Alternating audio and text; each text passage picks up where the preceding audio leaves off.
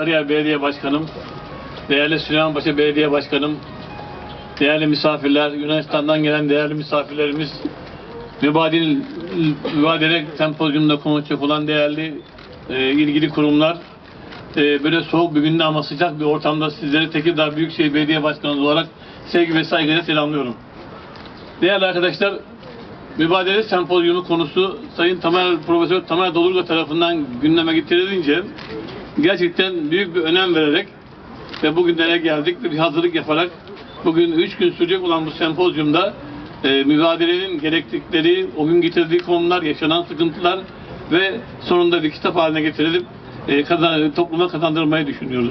Ancak tabii 30 Ocak 1923 gününe şöyle bir geri dönersek ve şu fotoğraflara bakarsak bu tabii hem mübadeleyi anlatmak, konuşmak kolay ama şu insanların 30 Ocak 1923 günü e, bu, bu sahilde yine bu yerde çektiği sıkıntıların ve 260 bin civarında sadece Marmara bölgesinde mübadeleye uğramış vatandaşın olduğunu düşünürseniz olayın e, acılığını ve çekilen sıkıntıları ortaya görmek daha da önemli oluyor. Değerli arkadaşlarım, bu bölge bu Süleymanpaşa'dan başlamak üzere Barbaros, Kumbağ, yukarıda Işıklar, Mermer, Yeniköy, Uçmakdere, Gaziköy, Güzelköy, Hoşköy, Mürefte, Şarköy ve Budun köyleri.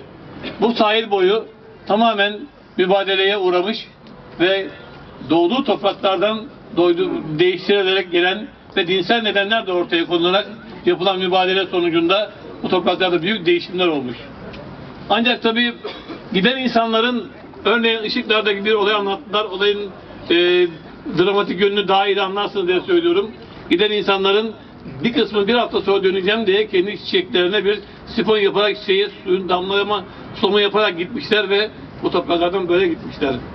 Tabii bu bölgede bağcılık gelişmiş, yeni bir şekilde oluşmuş.